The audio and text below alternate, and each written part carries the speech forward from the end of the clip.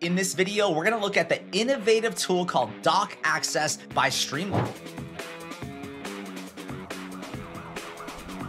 Welcome to the Accessibility Guy channel. My name is Shawn Jordison, and let's jump into the ring. Doc Access is an innovative new tool which could instantly convert all of your PDFs into accessible HTML pages. Not only that, we get the ability to talk with the PDF via AI. We can get a document outline. There's a disability assistance button where we can get live support with a real human for 30 minutes and we can translate the document to over 150 languages directly in the browser. Now we have the option to view the original PDF or the transcript view. In the transcript view, it simply displays all of our content in an accessible way. We have our headings built in, we have a bulleted list, we have references, hyperlinks, and it's just absolutely fantastic. Now you can see there's a little uh, notice at the very bottom saying that this application uses AI technology and it's experimental. Well, that is totally true, but from what I can see, this tool can instantly transform every PDF on your website. Now, if you go into your Doc Access account, this is where you can see every single PDF on the entirety of your website. You could also enable or disable the tool for any given PDF.